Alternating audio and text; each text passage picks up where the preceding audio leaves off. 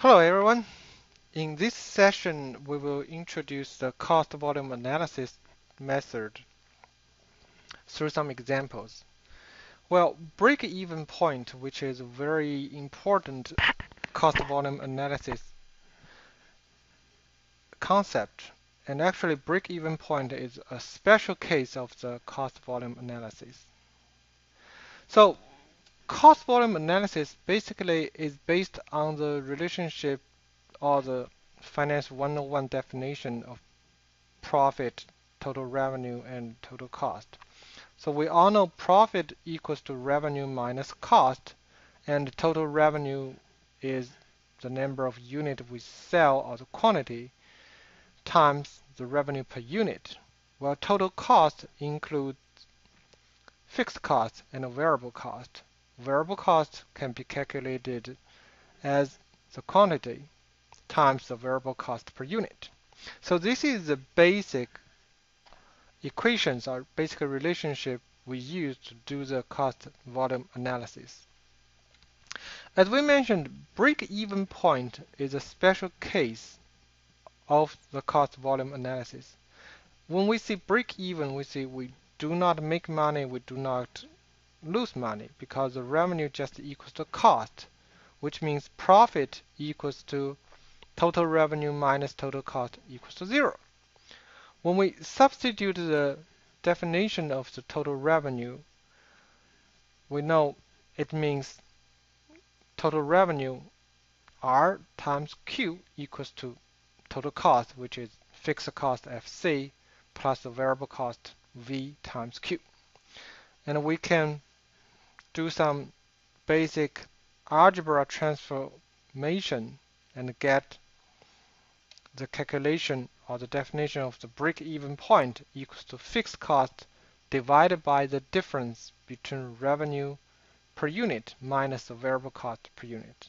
So this is how we derive or how we get the break-even point calculation equation. Now let's take a look at some examples. The first one, the owner of old-fashioned berry pies, S. Simon, is contemplating to add a new line of pie, which will require leasing new equipment for a monthly payment of 6000 The variable cost will be $2 per pie and the pie can be sold for $7 each. First question, how many pies must be sold in order to break even? Now this is a break-even point question because we try to find the volume that makes us break even. So we have the fixed cost, which is a monthly rental cost or the leasing cost equals to 6,000. We have the corresponding variable cost, $2 per pie, and the revenue or sales price, $7 per unit or per pie. Now, with all this information, fixed cost, unit revenue, unit cost, we can calculate the break-even point. The break-even point equals to fixed cost divided by unit revenue minus unit variable cost. We can find the break-even point equals to 1200, which means to break even, we need to sell 1200 pies per month. Remember, this fixed cost is per month, so it is not annual fixed cost. So the break-even point is for per month. Second part, what would be the profit or loss if only 1,000 pies are made and sold in a month? Now first, if you remember from part A, we know the break-even point is 1200 pies. Now if we can only sell 1000 pies, this number 1000 is smaller than the break-even point 1200. Well, at the break-even point 1200 unit or 1200 pies per month, we can only break even, we do not make money. And any quantity that is lower than this break-even point should generate loss instead of profit, which means for this question, if we only produce 1000 pies, we will sure lose money. Let's see if this is the case. Now, profit equals to revenue minus cost. Cost includes fixed cost and variable cost. We have given information, revenue $7 per pie, that's the sales price. Variable cost, $2 per pie. Fixed cost, 6000 that's a leasing amount per month. And uh, the production quantity for this part is 1000. We substitute everything into the formula to calculate the profit. We can see the profit is negative 1000, which means if we only sell 1000 pies per month, then we will lose $1000 per month. We're not making any money. Part C. How many pies must be sold to realize a profit of 4000? Similarly, take a look at the equation here. But now it's a little bit different. We have an expected profit. That's a profit we want to achieve. But we do not know how many quantity we should sell to achieve, to achieve this profit. But as we learned from the, I think this is the middle school, yeah, middle school mathematics. For such an equation, if all variables except one is unknown. We can just solve this equation to find this unknown value. Now for this equation we have profit. That's expected profit given 4000. We know the unit revenue. We know the fixed cost. We know the variable cost. The only thing that is unknown is the quantity. That is what we try to solve. So if we change the formation a little bit, we can make it more clear because we have only five variables here. Profit, unit revenue, unit variable cost, quantity, and fixed cost. And we know four of them. And we can solve this equation to find the value of the unknown variable. Now, basic algebra knowledge can lead us to the solution. So the expected quantity is 2000. So if we can make and sell 2000 units per month, it can generate $4,000 profit. Part D. If 2000 can be sold and the profit target is $5,000, what price should be charged per pie? Now here it changed a little bit from previous questions. But again, Still, we know the profit, which is 5,000. We know the variable cost, $2. We know the production quantity, 2,000. We know the fixed cost, $6,000. The only thing unknown is the revenue. And of course, with basic algebra knowledge, we can solve this equation and get the revenue as $7.5. So we need to sell each pie at a price of seven and a half dollar to achieve five thousand dollar profit with a production quantity of 2000. Now here I want to emphasize in this example it, it's very simple or straightforward. The only thing that is used is the basic algebra knowledge. If you do have difficulty to solve these problems, you really need to enhance your basic mathematics or algebra skills. Next example. A manager has the option of purchasing one, two, or three machines. The fixed costs are poten and potential volumes are given. So we have number of machines, one, two, three, and the corresponding fixed cost.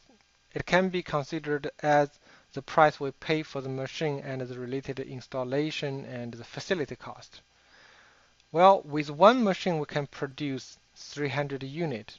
Of course, two machine it will be 600 unit, and three machine can produce up to 900 unit. The variable cost is $10 per unit and the revenue is $40 per unit. So we produce one at one $10 per unit and sell it at $40 per unit.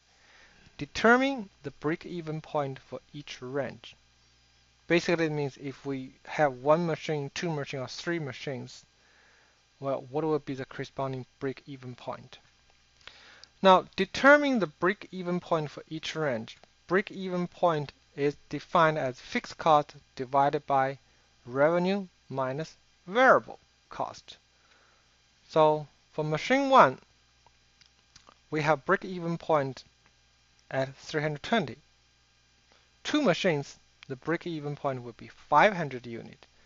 Three machines, the break-even point would be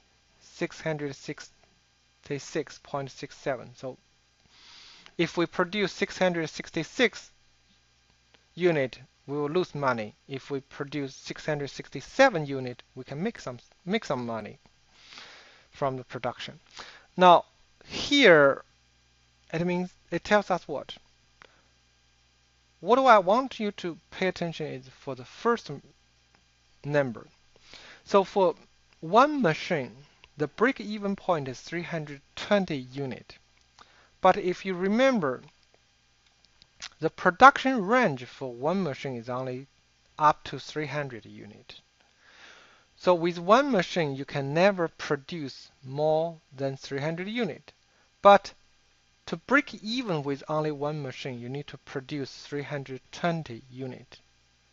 Well, it means if we only install one machine, you will always lose money because, because you cannot reach this break-even point. Well, another part is we see the fixed cost. One machine is 9600. Two machine is 1500. So from one machine to two machine, it only increased 5400. And from the second machine to third machine, it only include, increased 5000. This is an example to show the economies of scale. So when we improve or increase the number of machines, actually, the average fixed cost for each machine actually will reduce. Last example. A firm's manager must decide whether to make or buy a certain item used in the production of vending machines. Making the item would involve annual lease cost of $150,000. Cost and volume estimates are as follows. If we make, the annual fixed cost will be 150. That's the lease cost. Variable cost will be $60. And annual volume will be 12,000. If we buy, then there won't be any fixed cost, but the variable cost increased from $60 per unit to $60 per unit. And annual volume is same.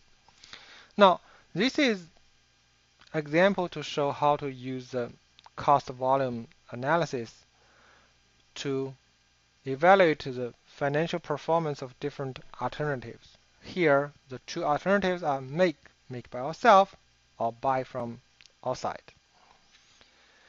Now, given these numbers, should the firm buy or make this item? Now, how do we evaluate it? We have only the cost information, fixed cost and the variable cost. We do not need we do not need to consider the profit or compare profit because for both of these two conditions or scenarios, the volume are the same, which means the revenue will be the same. When we make the comparison, we only need to pick the one that has the lower cost because lower cost means the higher profit if the revenue is the same. So basically what we need to do is to calculate the total cost for the two alternatives. What will be the total cost if we make it? And what is the total cost if we buy it? And see which one gave us the smaller total cost. Now to make it, we have fixed cost of 150,000, variable cost $60 times the quantity, 12,000, which give us a total cost of make equals to $870,000.